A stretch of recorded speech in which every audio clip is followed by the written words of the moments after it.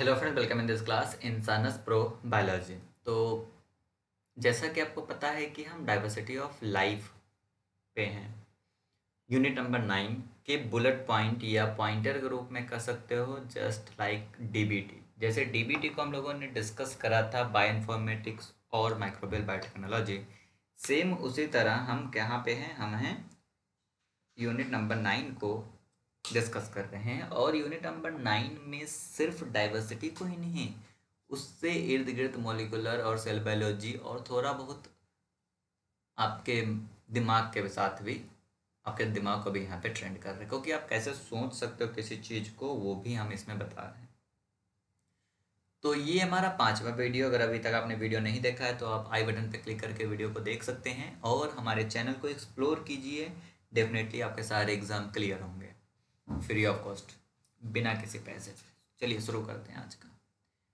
आज का वीडियो का जो पहला पॉइंट है, वो है कि chromosome banding chromosome banding refers to alternating light and dark region along the length of a chromosome produced after staining with dye चलिए इसको थोड़ा ध्यान समझिए। जब भी आप क्रोमोजोम की बात करते हो तो क्रोमोजोम में आपका डीएनए होता है। जो डीएनए का, मान लो कि ये डीएनए का एक स्ट्रेच है। इस डीएनए के स्ट्रेच में दो चीज़ें मतलब दो चीज़ें होती हैं। एक, दो रीज़न होता है मान सकते हैं, वो भी अल्टरनेट। एक रीज़न ये, दूसरा ये तीसरा रीज़न ये, चौथा ये, पांचवा ये। ये जो रीज़न मैंने बनाया, ये रीज़न एग्जॉन कहलाता है, ये रीज़न इंट्रॉन कहलाता है। एग्जॉन जो है, वो ट्रांसक्रिप्शनल एक्टिव होता है। क्या होता है आपका? ट्रांसक्रिप्शनल ट्रांसक्रिप्शनल एक्टिव होता है। और ये जो होता है, वो ट्रांसक्रिप्शनल इनएक्टिव होता है इंट्रॉन इससे जो है, जो इग्जॉन का पोर्शन है, वो जो क्रोमेटिन का रीजन होता है, उसे हम बोलते हैं यू क्रोमैटिन और जो इंट्रॉन वाला पोर्शन है, जो ट्रांसक्रिप्शनली इनएक्टिव होता है, उसे बोलते हैं हाइपर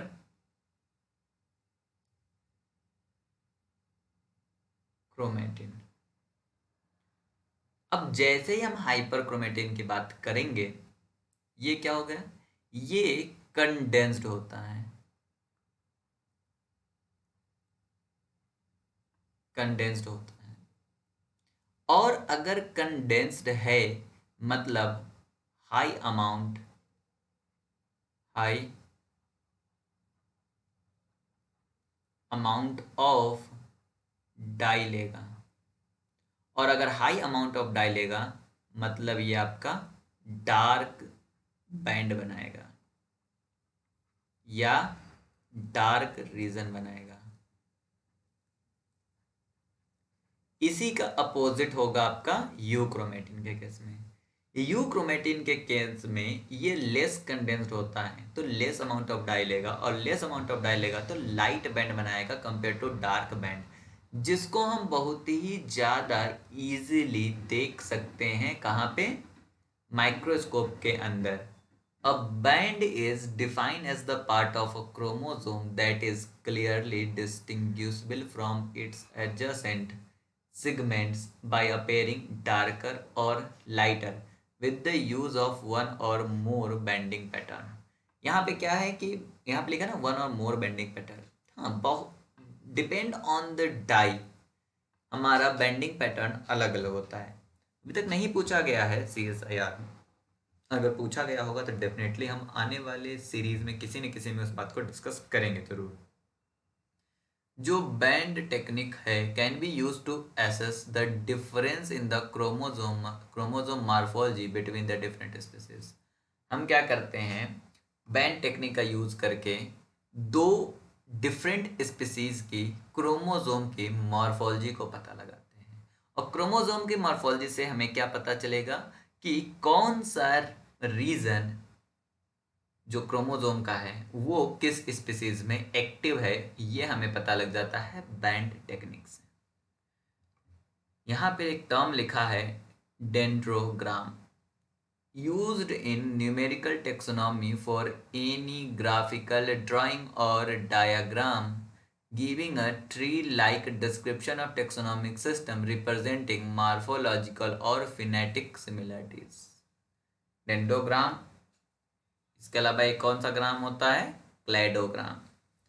तो डेंड्रोग्राम क्या होता है? मार्फोलॉजिकल और ओवरऑल सिमिलरिटीज के बेस पे हम एक ट्री लाइक फ़ोटो बनाते हैं, या ट्री लाइक एक ड्राइंग बनाते हैं, या यह कह सकते हो कि फिनेटिक क्लासिफिकेशन करने पे जो रिज़ल्ट आता है, उस रिज़ल्ट को शो करने वाला ट्री लाइक स्ट्रक्चर जो होती है, उसे हम डेंड्रोग्राम कहते हैं।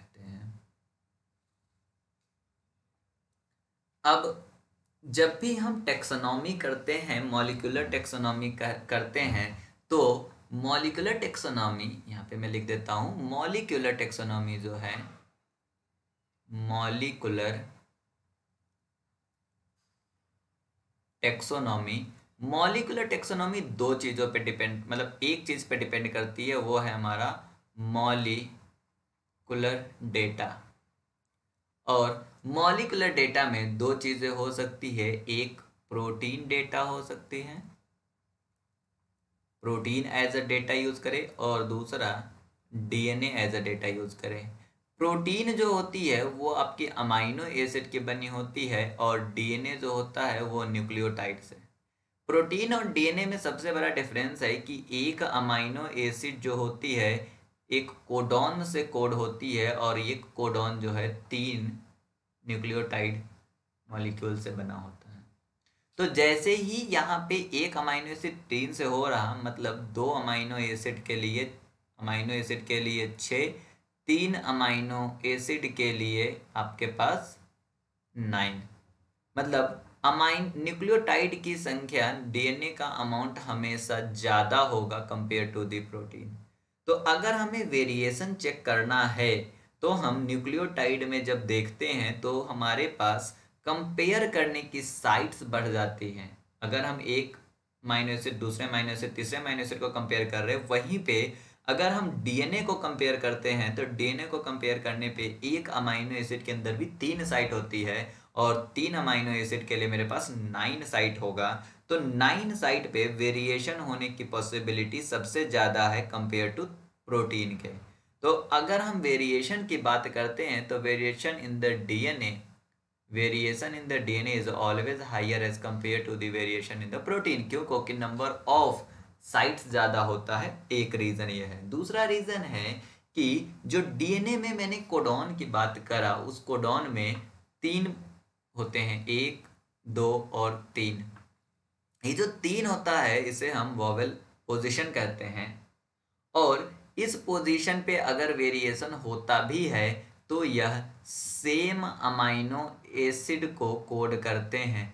मतलब अमाइनो एसिड आपका एक हो सकता है बट पॉसिबिलिटी है कि third position of the codon different हो। मतलब तीसरे पोजीशन पे अगर हम कोडॉन में अमाइनो एसिड मतलब कोडॉन को चेंज कोडॉन के न्यूक्लियोटाइड को चेंज भी करते हैं तो सेम अमाइनो एसिड होती है, जिसे हम रेडिडेंसी ऑफ़ कोडॉन भी कहते हैं। मतलब एक अमाइनो एसिड को डिफरेंट डिफरेंट टाइप के कोडॉन कोड कर सकते हैं। More than one codon code कर सकते हैं। But more than one codon का क्या मतलब है कि कोडॉन में न्यूक्लियोटाइड में डिफरेंस होगा वेरिएशन होगा बट अमाइनो एसिड में नहीं।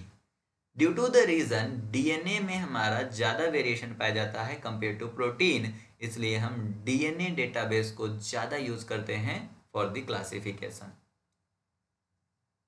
अब इसी का उल्टा यहाँ पे लिखा है कि more similarities in the protein as compare to the DNA हमारा क्या है? प्रोटीन में ज़्यादा सिमिलैरिटी होगा डीएनए के कंपेयर में। एक टर्म होता है एलो एंजाइम एलो एंजाइम वो एंजाइम होती है जो फ़ंक्शन सेम करती है। बट वो कोड डिफरेंट एलील से होती है। एलो एंजाइम क्या है? जो फ़ंक्शन सेम करती है। बट कोड किससे होती है? डिफरेंट एंजाइम से होती है। और एलील से होती है। बट एलो एंजाइम अगर हमें पता लगाना है तो हम पता कैसे लगाते हैं? इलेक्ट्रोफोरेटिक मोबिलिटी चूँकि डिफरेंट एलील से हो रहा है the reason is that electrophoretic mobility जो है एलो एंजाइम की अलग होगी। न्यूक्लियोटाइड वेरिएशन से हमारा एक प्रोटीन कोड हो रहा होगा और उस प्रोटीन के कोड से, उस प्रोटीन के कोड से क्या होगा? उसमें इलेक्ट्रोफोरेटिक मोबिलिटी में चेंज आएगा। और इलेक्ट्रोफोरेटिक मोबिलिटी में अगर चेंज है तो हम इससे एलो एंजाइम का पता लगा सकते हैं। फ़ंक्शन सेम है एलो एंजाइम का बट उनका ओरिजिन अलग है। वो कोड क्या हो रहे? दो डिफरेंट एलील से। और दो डिफरेंट एलील का क्या मतलब होता है? कि उनका न्यूक्लियोटाइड वेरी करेगा न्यूक्लियोटाइड में चेंज होगा। एलील का मतलब ये होता है alternate form of the gene और alternate form of the gene का क्या मतलब है कि उसके और मतलब उस एलील के अगर ये वाला कोई जीन है, इसका अगर अल्टरनेट फॉर्म ये है तो ये दोनों में अल्टरनेट होने का मतलब ये कि प्रोडक्ट तो सेम है बट इनमें कुछ ना कुछ वेरिएशन होगा। जो वेरिएशन क्या होगा? न्यूक्लियोटाइड लेवल पे होगा। तो इससे डिकोड होने वाला प्रोटीन, एंजाइम जो है, उनकी electrophoretic mobility different different होती है। आप सीधे याद कर सकते हो कि एलो एंजाइम की इलेक्ट्रोफोरेटिक मोबिलिटी डिफरेंट डिफरेंट होती है। पर yellow enzyme different different allele से कोड होते हैं, बट फ़ंक्शन सेम होता है।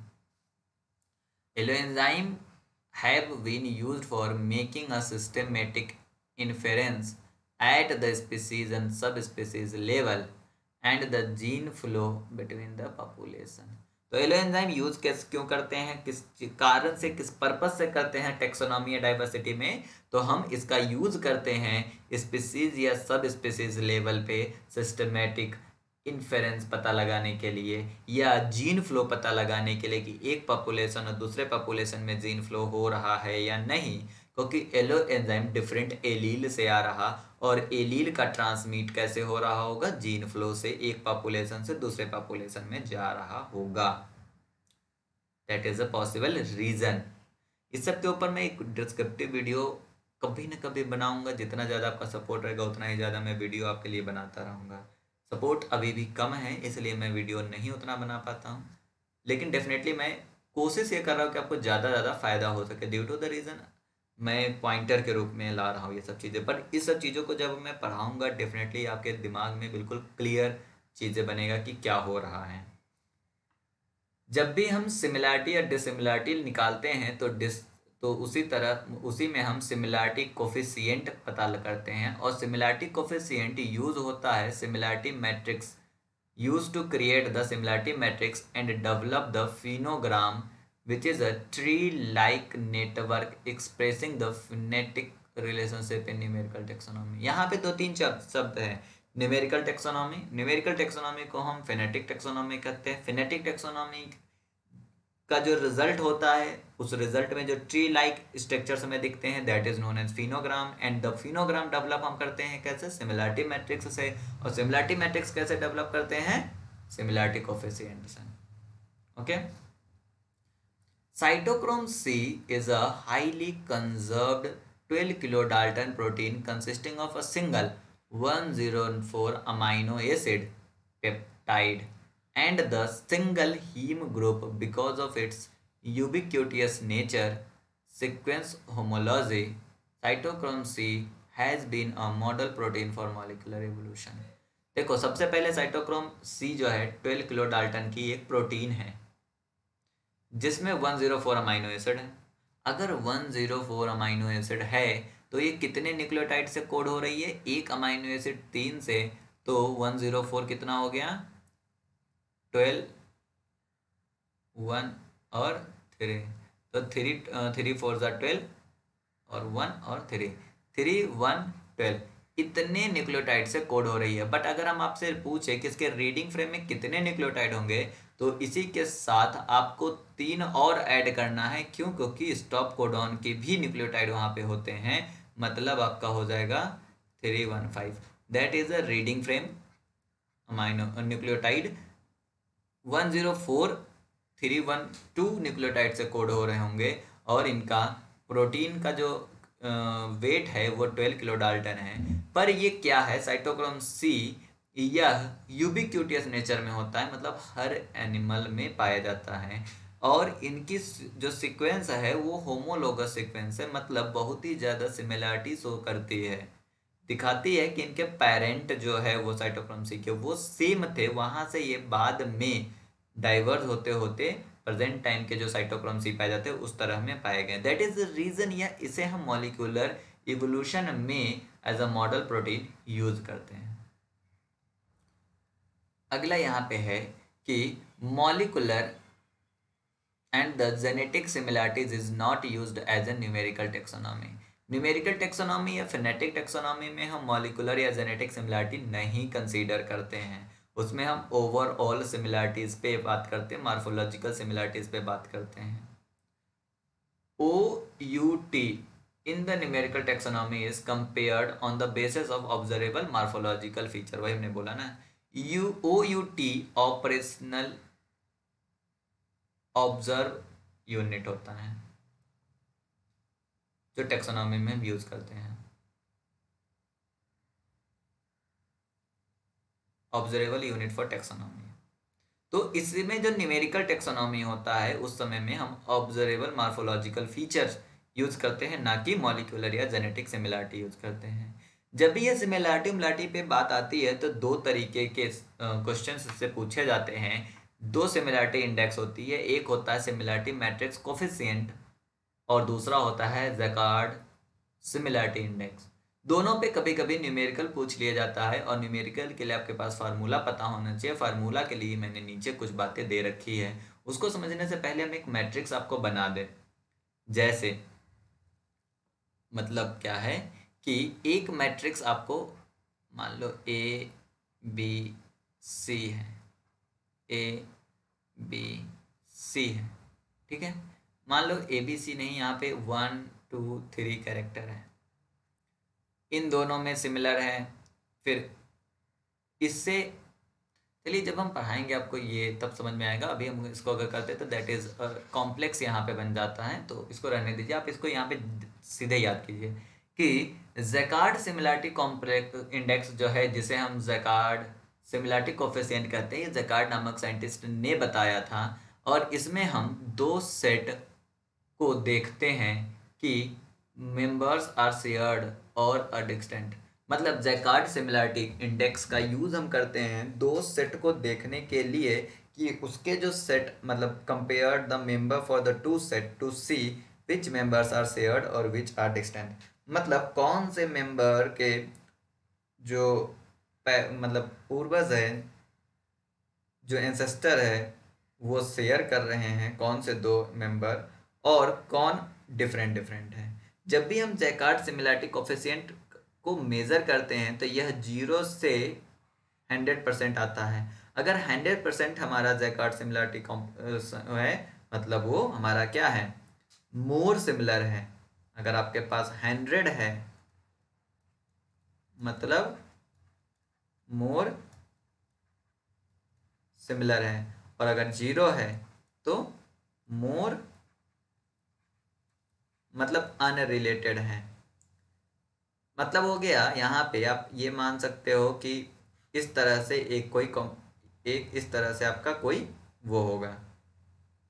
यहाँ पे मान लीजिए कि ये कैरेक्टर अगर प्रेजेंट है तो और अगर दोनों में प्रेजेंट है तो ये हो गया। एक में प्रेजेंट है मतलब वन वन हो गया। यहाँ पे ज़ीरो है, यहाँ पे ज़ीरो है। अगर इसमें प्रेजेंट है, एक में एबसेंट है तो ये हो गया। इसमें प्रेजेंट है, इसमें एबसेंट है, ये हो गया, ये ज़ीरो ज़ीरो मतलब ये अबसेंट है।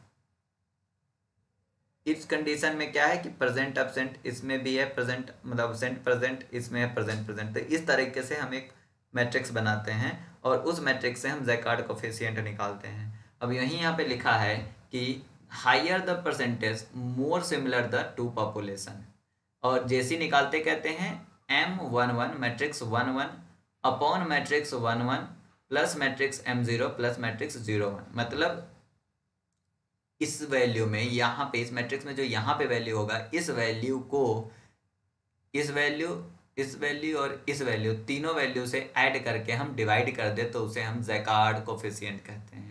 जहाँ पे एम मैट्रिक्स है ए और ज़ीरो परसेंस और अब्सेंस है। तो ये कंडीशन जो होती है, इस कंडीशन को हम जैकार्ड कोफिशियंट बोलते हैं। ये फार्मूला आप याद कर लो यहीं पे।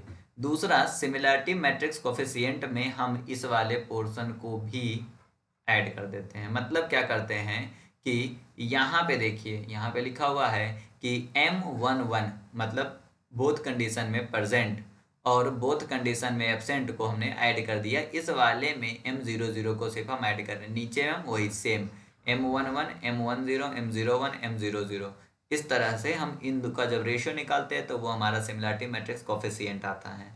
इसके ऊपर न्यूमेरिकल बहुत बार पूछा गया है और ये सिंपल भी होता है, क्योंकि ये मैथ के पोर्शन होते हैं। बायोलॉजी वालों के लिए एक प्लस पॉइंट है कि जो मैथ के पोर्शन होता है, अगर आप उसको अटैम्प्ट करते हो। तो डेफिनेटली आप सही कर सकते हो। रीज़न उसके पीछे कि वहाँ पे मैथ ज़्यादा कॉम्प्लेक्स नहीं पूछा जाता। तो अगर आपको ये वीडियो समझ में आया है वीडियो को लाइक करके चैनल को सब्सक्राइब करके बेल आइकन को हिट कर लीजिए। इसका पीडीएफ आपको बहुत ही जल्द मिल जाएगा। पीडीएफ आप कहाँ से पा रहे हो आपको पता होगा। पीडीएफ आपको मिल रहा है कहाँ पे? कम्युनिटी पोस्ट में जाके। कम्युनिटी पोस्ट में आपको लिंक मिल रहा है। वहाँ से आप पीडीएफ डाउनलोड कर सकते हो। दूसरा, इस इस वीडियो के डिस्क्रिप्शन में या कमेंट में जाइए। वहाँ पे आपको एक लिंक मिलेगा। जिस लिंक से आप दस क्वेश्चन को प्रैक्टिस के लिए यूज़ कर सकते हो, जो इस पे नहीं है, वो मोल बायो पे है।